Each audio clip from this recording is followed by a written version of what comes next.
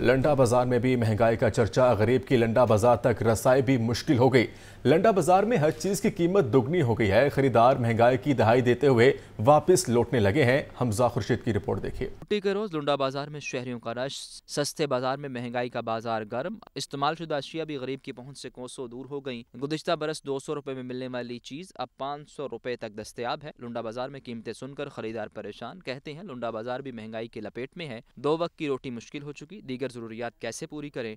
इधर रेट बहुत हाई है। कुछ कम है कुछ जो कम है वो लेने वाले काफ़ी नहीं है। और जो लेने वाले हैं वो ज़्यादा महँगे हैं। इसलिए हम छोड़ के आगे जा रहे हैं। जिसका दिल जो करता है वो कैन मैं कह चाहे वो 500 की चीज़ है वो 2000 बता दे।